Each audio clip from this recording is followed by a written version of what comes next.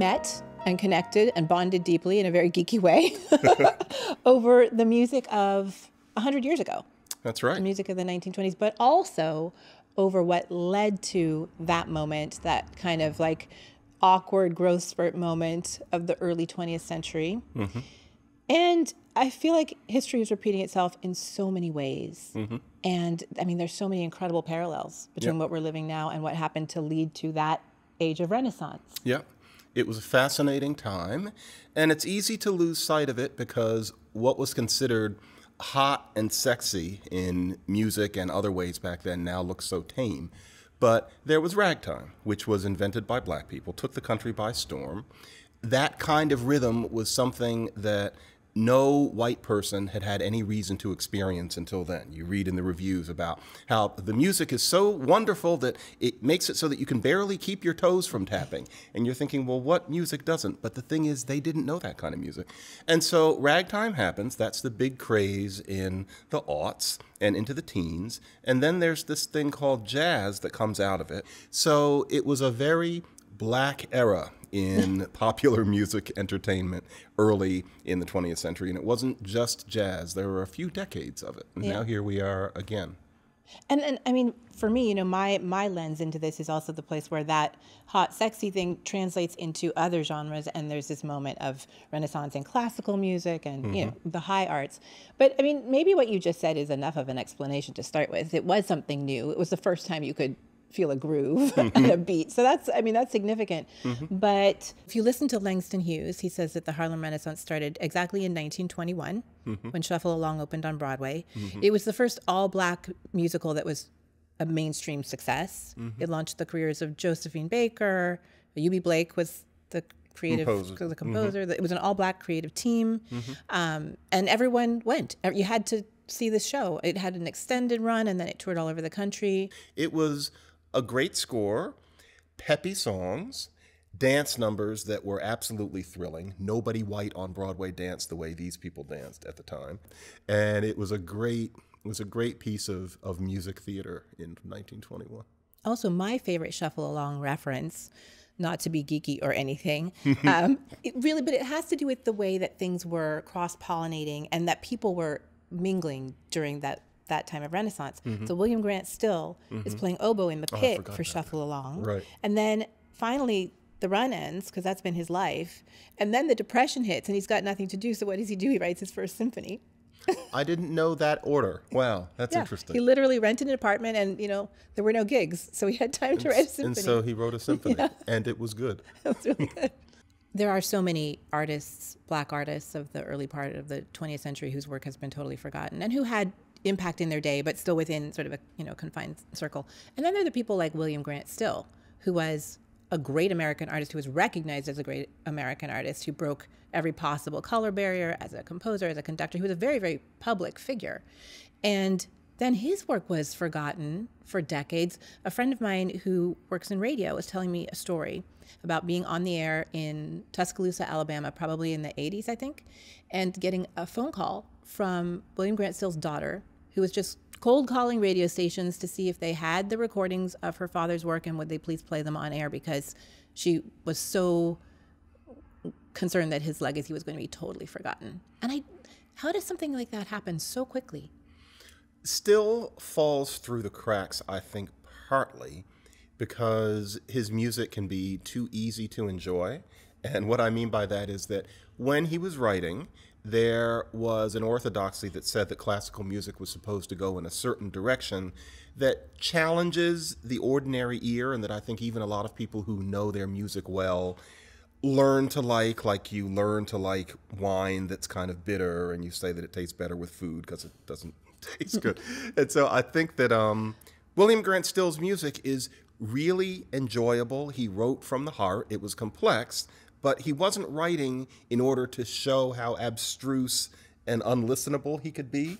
And in his time, that meant, I think, that he wasn't taken as seriously as composers who more fit into that vein. So I'm not saying that Bruckner is unpleasant to listen to, but you wouldn't hum it usually. It's challenging, the pieces are very long, you wouldn't take it to the beach. Whereas with Still's music, often you would. And I think that was part of the problem. Then, of course, there wasn't an industry behind him because of the color of his skin as well. But yeah, it's good that he is getting a new hearing because he was the goods on so many levels.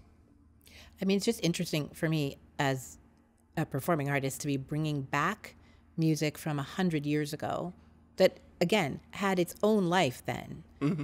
At the same time that there's a new generation of composers and artists making new music now, and audiences are discovering these things at the same time. Yeah. Actually, I want to ask you, Lara, how do audiences seem to be feeling about the things that you're presenting to them? Oh, there's joy.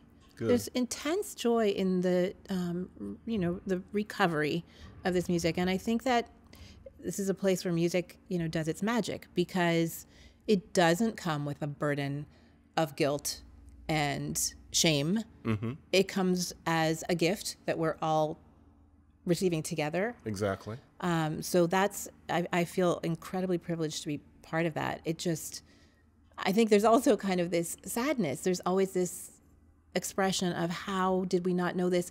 It would have been different to have lived in this world mm-hmm. with this music. Yeah, it's um it's funny you end up indicting the musical culture of the 20th century in some ways, but it's a deserved indictment. There was a very limited palette of, you know, what a Van Cliburn played, what was on those wonderful LPs that were produced by Columbia. A lot of wonderful music, but Eugene Ormandy was limited in a way in terms of the amount of music that he could be interested in that would be considered sellable. And I think we're getting closer to a truly vivid classical music tradition here, which would be something quite different from Bruckner and Tchaikovsky and and the like. Yeah, that's actually what I find so exciting. I think we're just reclaiming a moment that went too soon. You know, when when you read about the music that was being programmed by great American orchestras in the 1930s. In the 30s, right. William Dawson Mm-hmm. the Philadelphia Orchestra playing Dawson's Negro Folk Symphony at Carnegie Hall with an ovation that started after the first movement. Mm-hmm. These were not isolated incidents. There was a real hunger for American music and a real embrace of music by black composers. And okay, you know, maybe it disappeared for way too long, but I, we're not, this isn't something new. We're, we're remembering something better that we used to do.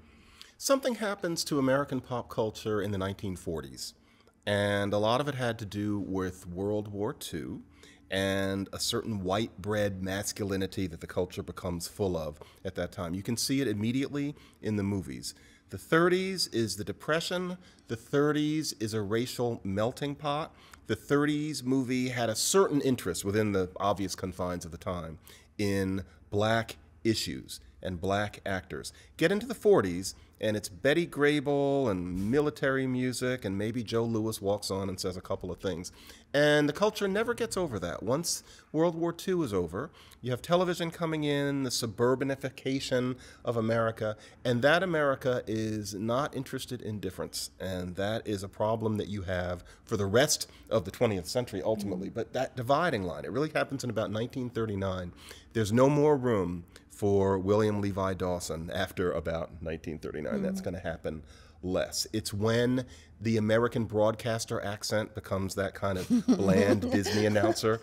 Everything in that decade, everything goes to hell. and that's part of what happened to classical music as well. Um, when I think back, this is going back to Shuffle Along and, you know, that, that burst of energy. I try to imagine what the white audiences of the time were experiencing mm-hmm. when they were buying their tickets for Shuffle Along. And even more, like that, I kind of get. It was novel for sure. But also the huge audiences for artists like Paul Robeson and Roland Hayes, black artists who were performing in, you know, a, a, a serious vein mm-hmm. and kind of sharing the most serious parts of their history and their tradition. Mm-hmm I wonder about the combination of factors. Yes, it's something new. Yes, it's the Vogue. But were those people also showing their goodness and their liberal leanings by following that trend, do you think? You know, Lara, my sense is that the typical white audience member then did not see themselves as doing anybody any favors. They were there to be delighted And if they weren't, they would have walked out. But they were delighted because there was something very special going on. Not only was there this black show uptown, but it changed the way the downtown shows sounded, which shows how much white people genuinely liked this kind of music. And I think that extended to listening to Paul Robeson sing, and that extended to hearing something like um, William Dawson's Negro mm-hmm. Symphony. They, they, they felt it. In other words, it was, it was American despite the flaws of mm-hmm. those people. Mm-hmm. Yeah, and also, I mean, it was coming out of a very hopeful, progressive time. I mean, we've mm-hmm. talked about this. That those first two decades of the 20th century, everything was changing. Everyone was moving, and people were experiencing things and people they'd never encountered before. So there was exactly. an openness, I guess. Yes.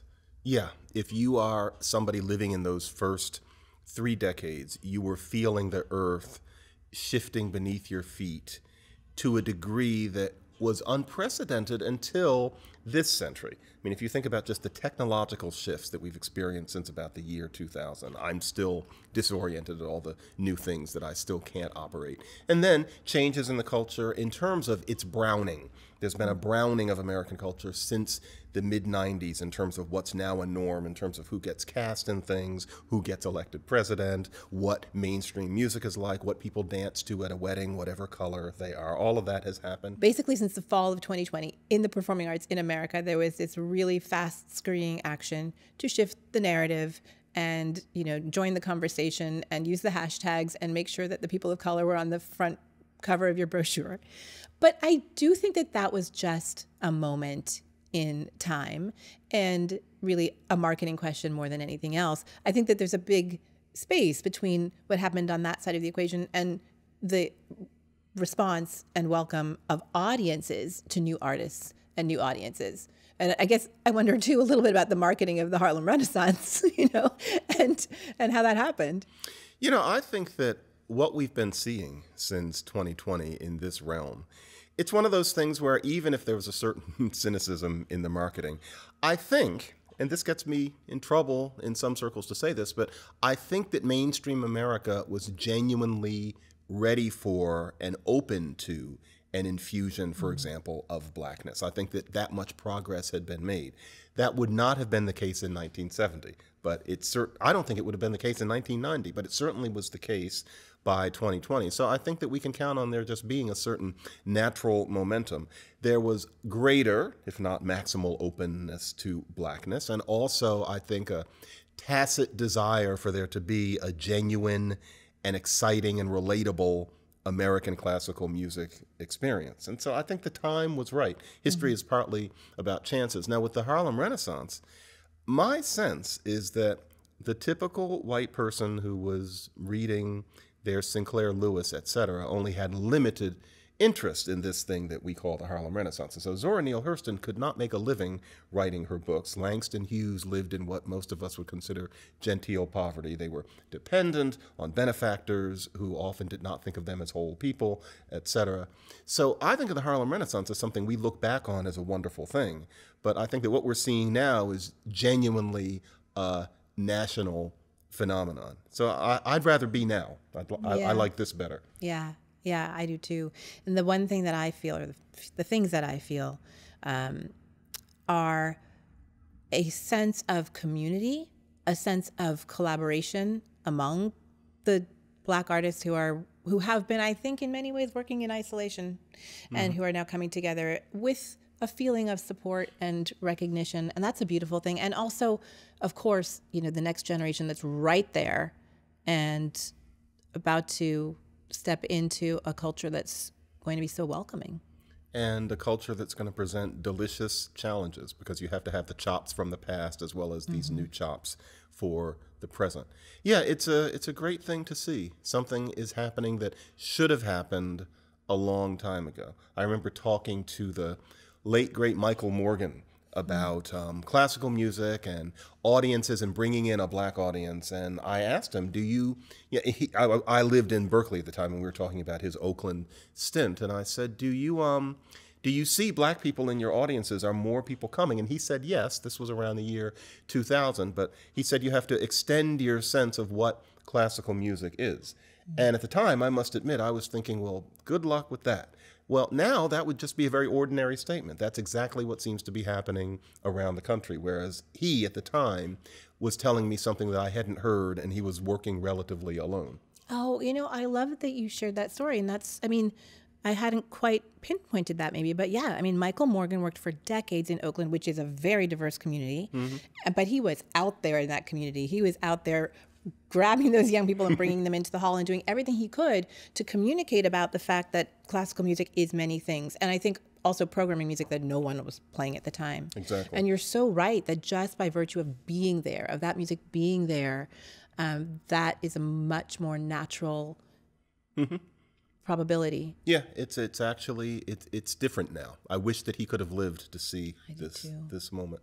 he would have enjoyed so it and he would have contributed. Well, it does feel like the beginning of many things. I'm so grateful to be part of this time. I really am. I mean, I think about that all the time. What if I were doing what I do 30 years ago? No. But it, yeah. You would be you'd be all alone. you'd be putting out LPs. No, it would be completely different. Yeah. It, you wouldn't be part of a moment. And I do think this is going to last. This is not just um, fashionable wokeness. People like these things. And I think partly it's because these are things that come from what America actually is. We are a melting pot, and it should be reflected in a melting kind of classical music. And that doesn't mean that it has to be easier. That doesn't mean that somebody has to get up there and, you know, do some licks on a clarinet. But it has to be different. It has to be something other than Sibelius. you and Sibelius. what did he ever do to you? I like using it. um, there is this poem by Rita Dove that has been with me for a long time, and it's inspired everything from concert pieces to work that I do with young people around Everybody the country. Everybody reads her, but me, I, I'm so uncool. Tell me what the, the poem is. Rita Dove is the coolest, yeah. number one. The poem is called Testimonial, and it's from the perspective of a child. And it's just, you know, this child who is, who, for whom the world is so big and vast and possible. And there's this quote that, uh, well, it goes like this Back when everything was still to come, luck leaked out everywhere. I gave my promise to the world, and the world followed me here. And I try to connect with that poem every day and just think about what is my promise here on this earth today because it might be different than yesterday or tomorrow. Hmm. The part of that poem that throws me a little, well, it's not in the poem, it's what you said, that your promise might change. I'm too boring and steady for that. I, I, don't, I don't think of it as changing much. I think of my promise as being, as a Montessori school child of upper middle class background, my promise is imparting to other people what is interesting or pleasurable about things that they normally probably wouldn't have noticed. Being a teacher, and so language is much more interesting than most people have any reason to think it is. That's my job to share it, not just to know it. In terms of the music I like, I must admit, and I never thought about it until right now, very often when I'm enjoying it, I'm thinking it's too bad more people don't understand that this is good. I'd like to communicate that. If I'm listening to something that's easy that anybody would like, like ham and cheese, there's a part of me that thinks, hmm, I'm like everybody else and I'm just sitting here bopping to this. That's different from listening to Tchaikovsky and thinking, a lot of people would think this was boring and it isn't, and I wish somebody were next to me and I could explain teaching people that the world is more interesting than they, than they might think. I'm really flying blind here, but no, go. Teaching. teaching. Teaching people that there's more to life than just sitting around. Yeah. Yeah. And, yeah.